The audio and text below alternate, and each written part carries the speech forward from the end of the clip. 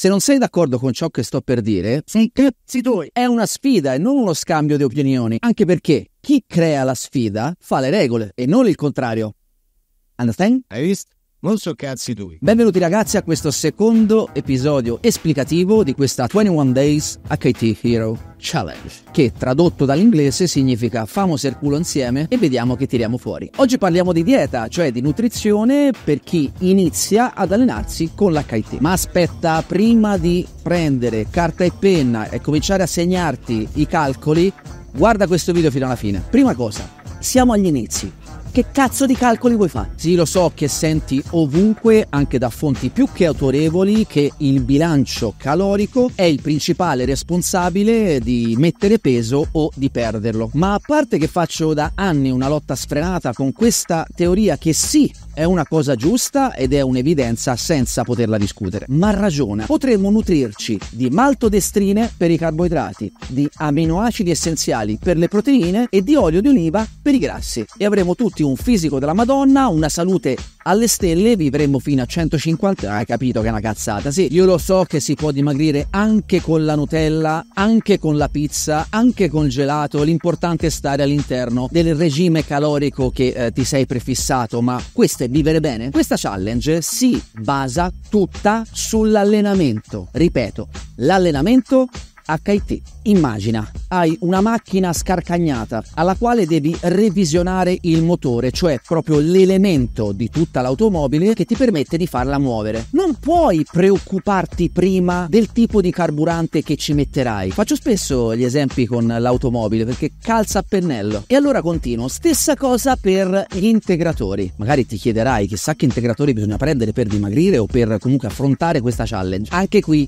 immagina, la macchina è una merda, non si muove neanche in discesa. La benzina che ci stai mettendo è a 3 ottani, però te ti preoccupi su quale additivo mettere per pulire gli iniettori. Capisci che siete un tantinello confusi? Prima cosa, motore e quindi allenamento. Ma quello lo faremo insieme, quindi non ho assolutamente una preoccupazione enorme per il discorso allenamento. Riguardo cosa quanto e quando mangiare determinate cose per ottenere l'obiettivo che ti sei prefissato o prefissata è un dettaglio che vedremo molto più in là in tutto il percorso che faremo insieme anche oltre questa challenge. Ci sono delle priorità. Urgenza o comunque priorità numero uno, qualità alimentare. Alimenti non confezionati da cuocere e consumare con un, minimo di organizzazione sono sempre da prediligere. Sappi che a parità calorica un'alimentazione seguendo una corretta selezione delle fonti migliora drasticamente la tua forma fisica, tuo, la tua sensazione di benessere, anche l'emotività migliora tantissimo rispetto a farsi affettati tutto il giorno, alimenti che non nascono iperproteici e te li vendono come se fossero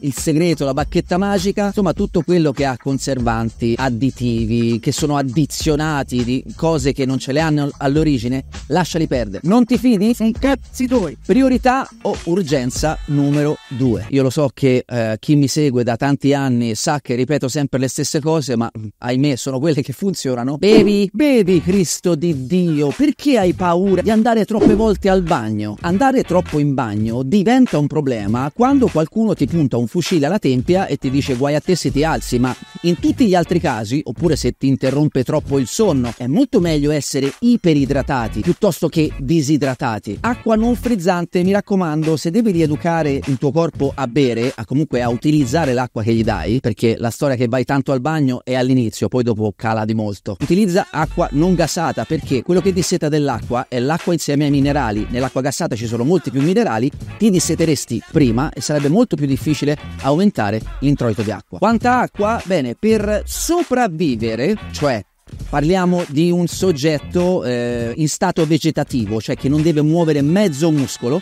Si parla di peso corporeo per 0,03. Questi calcoli puoi farli, ma poi c'è la vita di tutti i giorni, lavorare, allenarsi, perché noi lo faremo un bel po', e affrontare appunto la giornata con un minimo di lucidità. E visto che di allenamento si parla, devi sapere che il 2% di disidratazione fa calare la tua performance fino al 30%. Quindi, se non ottieni risultati con l'allenamento, spesso spesso è per il fatto che non bevi. Poi si guarda altre cose. Per questo che ti parlo di priorità e urgenze. Per finire, visto che eh, seguite soltanto chi vi fa paura, al 10-11% di disidratazione si muore. Quindi quel 2% che ti fa calare soltanto la performance, gli svarioni iniziano verso il 5-6%. Dicevo, il 2% che è legato soltanto a conseguenze sulla performance rappresenta rispetto all'11% che poi ti porterebbe appunto a situazioni nefaste il 20%. Fai i calcoli per capire di cosa ti sto parlando. Se hai il 2% di disidratazione dove hai soltanto conseguenze sulla performance, in realtà sei al 20% di probabilità di arrivare all'11% che ti ho già detto cosa succede. Ora, io non lo sto augurando a nessuno, però visto che vi muovete soltanto se mi cagate sotto, allora vi faccio cagare sotto io.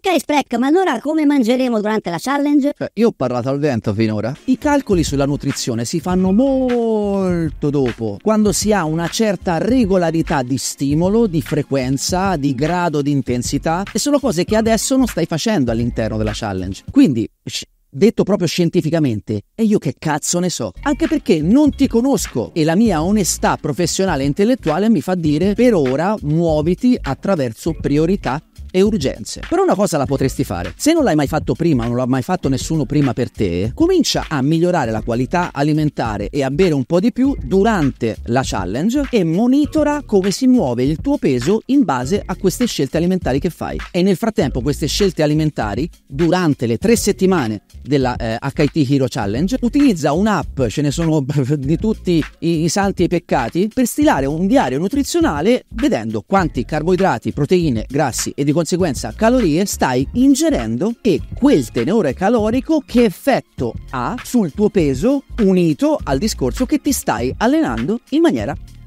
HIT. Ovviamente questo video e queste raccomandazioni sono per chi non è seguito da professionisti della nutrizione che dovrebbero già fare questa cosa o magari la stanno già facendo. Anzi, informateli se siete seguiti che avete intenzione di fare questa cosa, perché magari state facendo un qualcosa per sedentari, dicendogli diventerò uno sportivo o una sportiva, vi faranno qualche modifica, sono obbligati a farlo, eh. Se ti ha messo in chetogenica, vabbè, mm, basta, l'ho già detta sta cosa nel video numero uno. Spero che questo video ti sia piaciuto, fammelo sapere con un like o con un commento. Iscriviti al canale se ancora non l'hai fatto, attiva la campanellina così ti arriverà la notifica di quando pubblicherò il prossimo video dove parleremo, sì, di allenamento ma non vedrai ancora gli esercizi perché quelli vengono dopo. Prima devi sapere su cosa lavoreremo, quante volte ci alleneremo e qual è il mood giusto per iniziare a entrare in quest'area bellissima dove l'unica colpa del non avere risultati sarà solo tua.